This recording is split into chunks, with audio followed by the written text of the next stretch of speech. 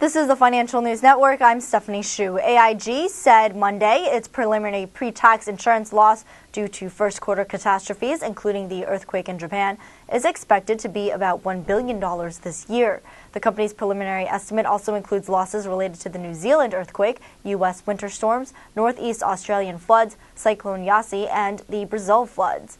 Robert H. Ben Benmosche, President and Chief Executive Officer of AIG, said, quote, our priority is supporting all of our customers and employees who have borne the impact of these many catastrophes in Japan, where the people in the affected areas continue to bear many hardships, including aftershocks, lack of electricity, and fuel shortages. We are working closely with our customers and continue to monitor events in the country as they unfold. We have been able to make substantial progress due to the remarkable efforts of our claims department and our customer service department, which have been working nonstop since the event. We have also been actively engaged in bringing relief supplies to the hardest hit areas. For further updates, stay tuned to the Financial News Network. I'm Stephanie Shu.